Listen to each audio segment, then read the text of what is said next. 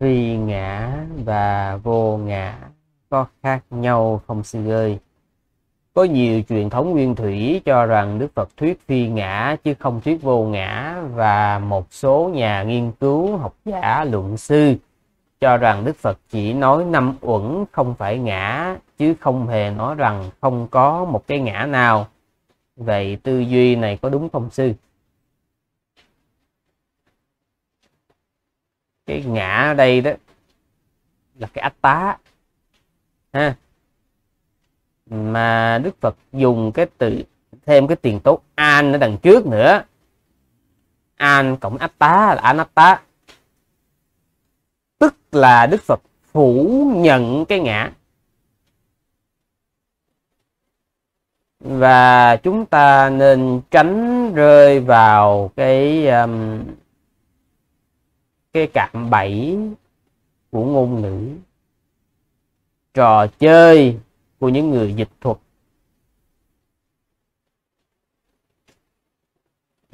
Nha theo Bali đó. Thì Atta, tức là mình dịch là cái ngã, chỉ có khi là mình chỉ cái linh hồn. Đương nhiên là cũng có những chỗ Đức Phật gọi Atta là chỉ cho chính chính cái người nói thì cái chuyện đó mình để qua một bên. Nhưng cách tá thì Đức Phật chủ trương là Anatta. Tức là ngài phủ nhận cái tá đó. Còn phủ nhận đó, quý vị nói là vô ngã, phi ngã, không phải ngã. Muốn nói cái gì thì nói. Nha. Nhưng mà sư lặp lại một lần nữa là chúng ta phải tránh cái cạm bẫy của những cái trò chơi ngôn ngữ từ đó đó mình đi ra mình thí luận mình nói với nhau rồi mình tranh luận với nhau. Trong khi đó kinh tạng chỉ đơn giản đức phật phủ nhận cái atta phủ nhận cái ngã. Đơn giản vậy thôi. Ừ. uh,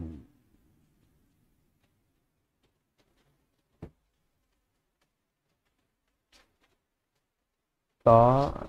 Nếu như mà quý vị muốn biết rõ đó thì à, xem lại cái trung bộ kinh à, bài kinh à, căn bản pháp môn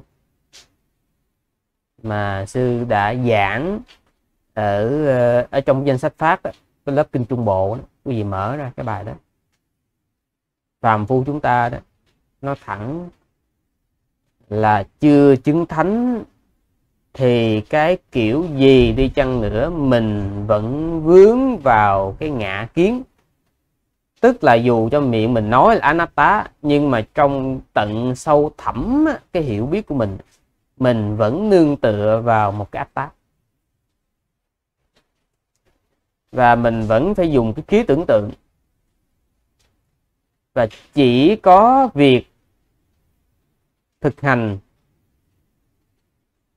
theo bác chánh đạo giữ gìn cái nội tâm tránh khỏi những ô nhiễm ừ, nghiêm trì theo cái lời dạy của đức thế tôn thì mình mới có cơ hội mới có cơ hội khai sáng nhìn thấy được đâu là bản chất đâu là sự thật.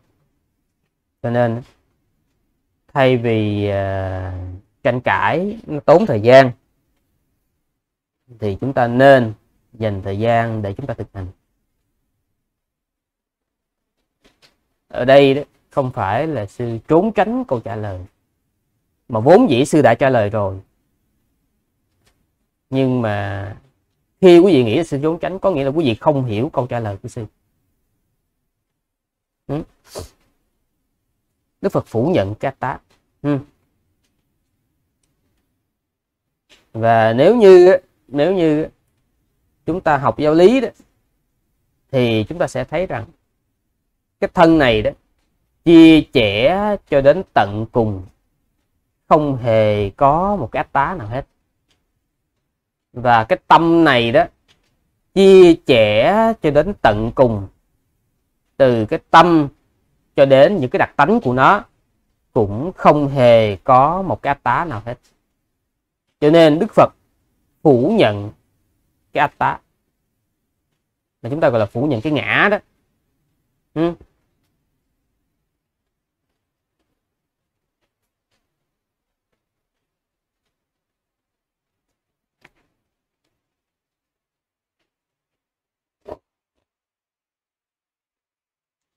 um, nhưng mà như sư nói hồi nãy phàm phu chúng ta một là họ không chấp nhận được chuyện đó. Tức là họ làm cách này hay cách kia thì họ vẫn phải có một cái ngã nào đó thôi. Họ không có chấp nhận được cái chuyện mà đức phật phủ nhận cái ngã.